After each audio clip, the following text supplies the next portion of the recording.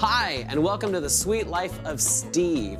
We have another twofer today. It's for you and only you. Well, and maybe.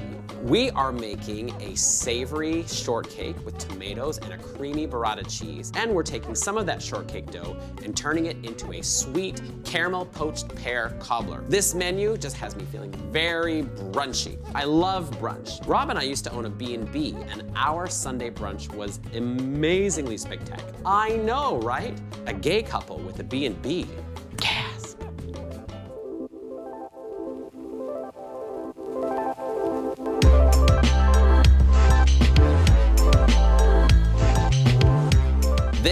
Is a Mrs. Tea. I've got this great local gin from Grey Wolf Craft Distilling. And I've taken some of that gin and infused it with green tea. I've also made a simple syrup infused with hibiscus tea. So that's where our Mrs. Tea comes from. To infuse the gin, I've taken one cup of gin and one tea bag.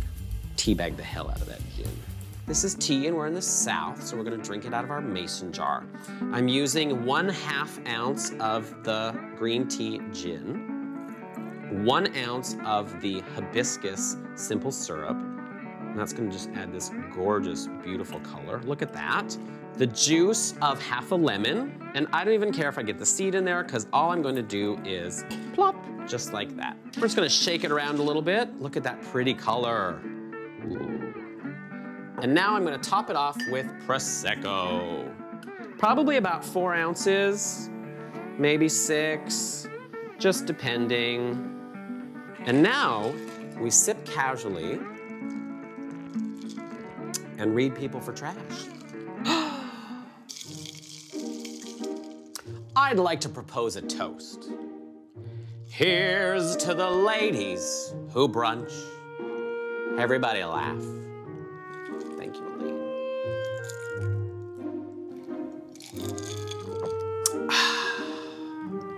Refreshing. It's all downhill from here. Let's get started on our shortcake dough. I'm using cake flour here instead of AP flour because cake flour has a little less protein, so we'll have a more tender dough. To that, I'm adding some sugar, some baking powder, and then I'm just going to whisk that together, just to get everybody sort of combined. Now, I'm going to take some of this mixture and add it into my little food processor here. This is so cute. Of course, you can do this in a big one if you have a big one. And I've got one hard-boiled egg yolk. Drop that inside just like this. And then we're gonna blend it until it's well combined. That should be about enough. You wanna make sure that you don't see any little egg yolky bits.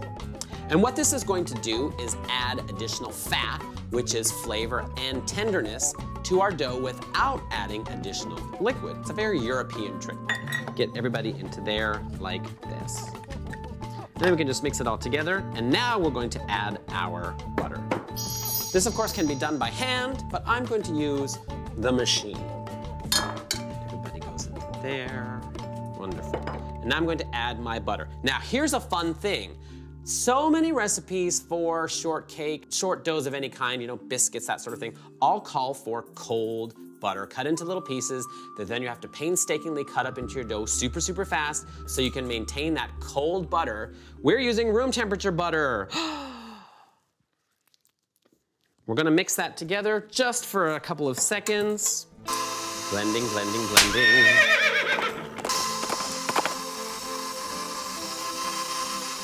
We're getting very close. We're almost there. Getting super, super close. We're there. We want our mixture to look like cheap Parmesan cheese. The kind that comes in the jar that has the green lid on it. You know what I'm talking about? So, can we get in there? This is nice and flaky. Little bits of butter. Here's kind of a little bit of a secret for all of this. For things like biscuits, pie dough, where we want it to be really flaky, we need the butter to be in bigger bits. But when we want a nice tight crumb, yeah, it should always be tight. This is a short cake. then we need our butter bits to be a lot smaller. So this Parmesan cheese stage is exactly right where we need to be. And of course, if you wanted to do this by hand, you could just take this and kind of rub it through your fingers, just like this. And it looks like snow. Fabulous. Now for the liquid portion of our shortcake. We have one egg, one egg yolk, and now I'm going to add just enough heavy cream until I get to 250 milliliters. So depending on the size of your eggs depends on how much or how little cream you're going to use. A short dough is basically a lot more fat to flour ratio. In here we've got butter, fat, we have our hard cooked egg yolk, fat, we have heavy cream, fat, more eggs, fat. Fat is flavor, fat is tenderness. So FYI, if anybody is ever trying to like body shame you and says that you're fat, you say, no, I am flavorful. Blend this together. Make sure that it's really, really well incorporated because it's only going to mix in here for just a few moments. So you really want to do all of your mixing here. Everybody in, mix, mix, mix. Three, two, one, beautiful. Now our dough looks pretty soft, which is totally fine. So what we're going to do is we're now going to chill this. And this needs to chill for at least two hours. What's gonna happen in the chilling process is that flour is gonna get hydrated by all of that liquid that's going to give us more tenderness. Also, since we use room temperature butter, by putting it in the refrigerator, the butter is now going to chill and seize up. So when we bake it, we'll get the benefits of the cold butter. We're going to get the rise that happens from the steam and the melty of the butter inside, which creates flakiness and tenderness and deliciousness. Let's get cold. Our shortcake dough actually has sat overnight in the refrigerator, and I'm going to scoop it, taking my three cup, uh, is this? A third of a cup. I'm taking this because this is the size that I want. Of course, you can make it bigger or smaller, it doesn't matter. Taking a little bit of the dough and just greasing this up, just like this. So we're gonna scoop these, not roll and cut. Dredge in a little flour. Come in here and scoop-de-doop. There we go. Beautiful. And we lather, rinse, repeat. And lather, rinse, repeat, and lather, rinse, repeat, and lather, rinse, repeat, as needed. And of course, I have some dough left over, which will become our cobbler. And now, I'm going to just uh, brush them with a little bit of cream. I really like this uh, two finger method here. Just get in there with those two fingers. Yeah, there we go. Nice and creamy. Beautiful. This is going to be a savory shortcake. So we're just leaving it like that. If this was going to be a sweet shortcake, then we would sprinkle sugar on. It's not just for strawberries anymore. Let's go to the oven. Maybe a little one of these. Boom. And we bake them until they're done. What's next? I got ice in my, mm. What's next? Look at these, they are beautiful. We just pulled them out of the oven. Always pull out when you're done. They're golden brown. Here's a way you can tell that they're baked is that um, just when you try to pick them up, they're gonna feel like they're not going to fall apart in your hand. That's it. Can you smell what the Steve is cooking? Like there? Is that right? Well, let's just YouTube him.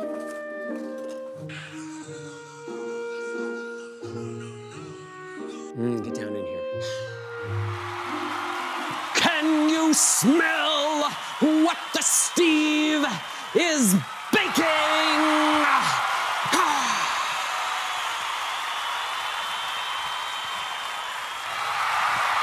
or maybe you want to get like just this fabulous crumbliness. Broom. PA Rob. Uh, caramel poached pear cobbler. Delicious. We're making the entire thing in this cast iron pan. I'm making my caramel in here, I'm poaching my pears in here, we're gonna put it in the oven and we're gonna eat it out of here. It's kind of gonna be like macaroni and cheese. You should always eat it out of the pot you made it in, with the spoon you made it with, while sitting on the couch watching like a Grey's Anatomy marathon or something, alone in the dark, like a lady. To start our caramel, we have some water. We're, this isn't plugged in. Who is the PA on this show? He needed some power, so he said, let's plug the thing in, shall we? okay, we're adding our water, and sugar, the main ingredients of caramel or caramel, depending on where you're from. No judgment here. This is a judgment-free zone. And I'm just going to make sure that all of the sugar is completely moistened. Very important step in making your caramel. If your sugar isn't completely moistened, you can get some crystallization there, and then it's gonna be ruined.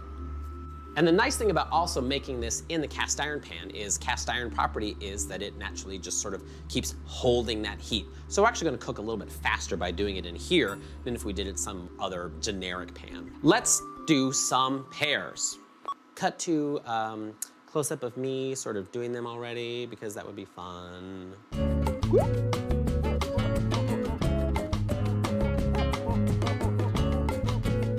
Our caramel is sort of moving right along. You always wanna make sure never, ever stir the caramel. You just swirl the pan ever so slightly.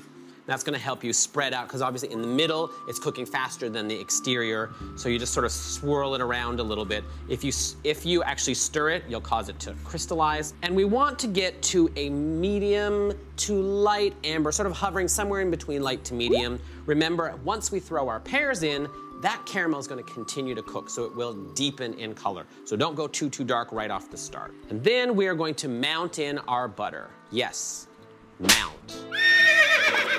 Mount that butter. I'm using room temperature butter here. Colder butter is gonna create more spatter.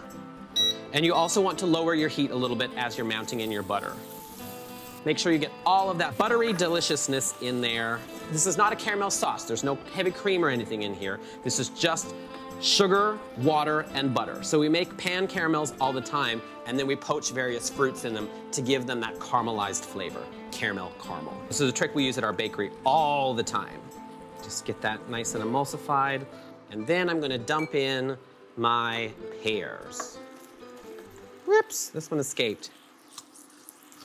And now I'm definitely gonna lower the heat a little bit and just get those down in that caramel. And we're letting them poach. Poaching is cooking at a lower temperature in a liquid. Gently cooking, yes. And something fun is going to happen as these pears sit in the caramel, caramel, depending on where you're from, and as they start to cook, they will release some of their juices. Oh God, did I miss a joke about juices releasing? God damn it. That's gonna thin out a little bit this caramel, and then we're gonna reserve that and turn it into a gravy that we're gonna put on top of our cobbler when it's done. And this can take anywhere from 10 to 15 minutes, depending on how ripe those pears are. We want them to soften up. Most of the cooking is happening here. And then when we put our cobbler bits on top, they'll go in the oven and cook just until those are brown. So we don't need to worry about cooking the fruit in the oven, we're just cooking the delicious cakey bits on top. We're at a really nice point here. We're going to strain these because I want to keep the juice. Of course, you probably should use a bigger strainer, but this is the one that I have. Oh, look at that. Beautiful. And now I'm going to stir in my aromatics. And this is something that's really just to your personal preference. I'm using cinnamon, a little bit of clove because I love clove and pear together, and I'm using mace. It's not quite as nutmeggy as nutmeg, obviously because it's mace, but it still is in that same family. Ginger also works really wonderfully here. We'll give those a wonderful little stir. Oh. It smells so good in here. We're going to do our topping. Take some of our little bits of dough and we're just going to sort of plop this on. We are cobbling together this little dessert, which is why it's called a cobbler. I like to leave little gaps because I want to see the fruit as it's baking and whatever little bit of juices are still in there are gonna kind of bubble through. Then we're gonna do something magical with this to make a gravy. Into the oven we go, 350 degrees, and we bake it until, or which is 175 Celsius, by the way. And we bake it until it's golden brown and delicious. Or, as we say at the bakery, you bake it till it's done. So remember, this had some butter in there, and it's got these beautiful pear juices, and all we're going to do is just whisk it. And you want to just keep whisking it as it cools. And as it cools, the butter's gonna solidify a little bit, and we're basically making like a little mini caramel sauce. That's it. That's all you're going to do to that. If it feels a little too runny, you can obviously reduce it down, but it's beautiful just as is. So that's it. Time to put this whole thing together. So of course we're doing a savory shortcake, which means we need some sort of situation to put inside. I've got these beautiful, hello gorgeous, cherry heirloom tomatoes, I'm going to add some salt. And when I mean salt, I mean a lot of salt. Like we are going to liberally salt this. Just when your brain says, you know what, that's too much salt, you're gonna add just a little bit more. And that salt's gonna bring out the natural sweetness of the fruit. Yes, I said fruit. Tomatoes are a fruit. I think I would know a fruit when I see a fruit. Let that sit for a little minute and we're just gonna stir that together. We want the salt to pull out all of the moisture. A little fresh cracked pepper. This is to taste, whatever you like. You want it really spicy, then lots of pepper, or not, just a little bit, whatever. Let that marry. I now pronounce you tomatoes and salt and pepper. And then stream in some really good quality olive oil.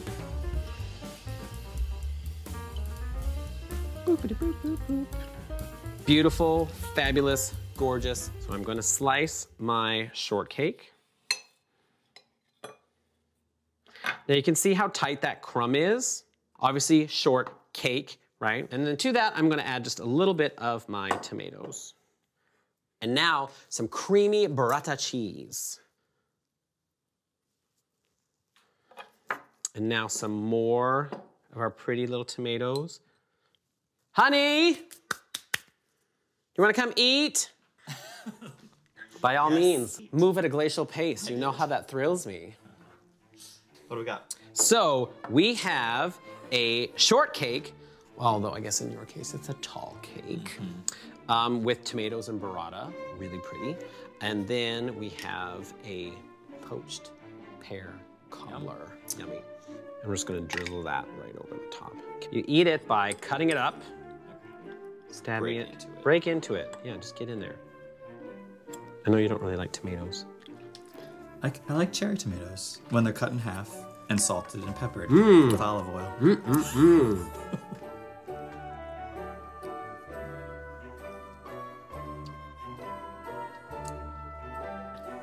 That's very refreshing because you think of shortcake and you're like, oh, it's gotta be sweet, but no, it does not. We're gonna do a cheers. Ching ching. Mmm.